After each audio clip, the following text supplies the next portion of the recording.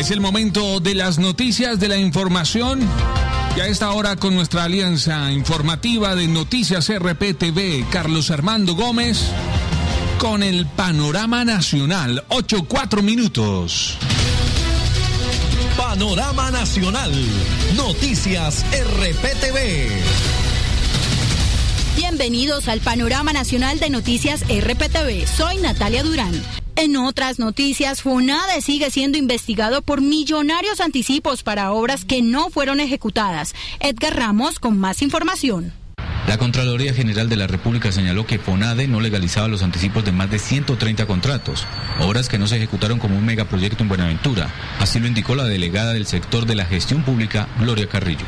Obras que no se finalizaron, por ejemplo, en un megacolegio en, en el distrito de Buenaventura, eh, la, sede de la, construcción, eh, la construcción de la sede de la regional Neiva eh, de la Escuela Superior de Administración Pública, la finalización de unos parques en la ciudad de Cali, eh, incluso la construcción de un centro de desarrollo infantil en, en las zonas de los llanos orientales y proyectos eh, relacionados con la construcción de vías. Hasta aquí el panorama nacional de noticias RPTV. Nos volvemos a escuchar el próximo martes. No olviden seguirnos en las redes sociales como Noticias RPTV.